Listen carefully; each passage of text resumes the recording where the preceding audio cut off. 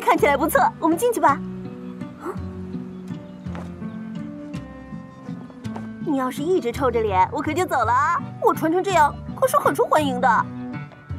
知道了。你看这样行吗？嗯，我们进去吧。啊啊，浩一，浩一，我先带他们去那边逛逛。好，我一会儿就跟上来。要去玩了。嗯嗯，你在这里干什么？哎哎哎！喂，同学，有话好好说呀！蒋浩一，你说清楚，为什么在那里？啊？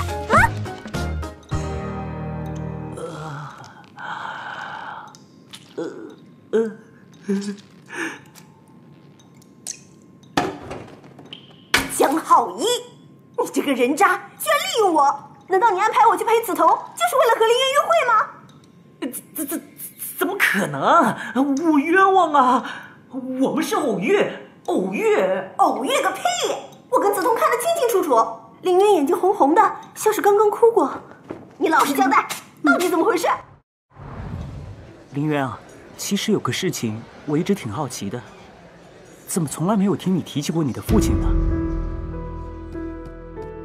其实林渊，你不用这么自卑的，我早就看出来了，你们家是单亲家庭，你妈妈独自抚养你很辛苦，那你父亲呢？一点都不管你们吗？比如抚养费总是要出的吧？你家现在这经济状况，难道说他从来就没回来看过你？嗯，怎么了？怎么了？什么情况？说实话，不知道啊。不知道怎么了？原以为我可以用激将法让他跟我说出他的心结，然后我对症下药就可以帮到他。唉。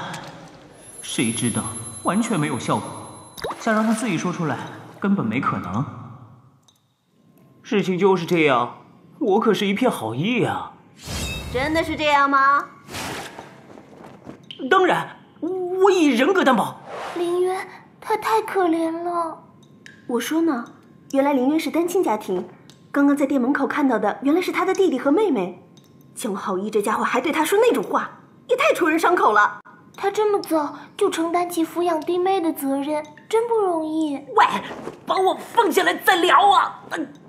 你你你，算了，这次的事情就过去了。既然是偶然碰到，他又那么需要帮忙，我们就不追究了。毕竟大家都是同学，是吧，紫藤？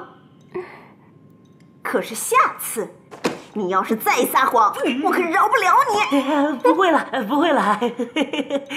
啊，浩一。那就拜托你帮帮林渊吧，有什么需要随时告诉我。没问题，就放心交给我。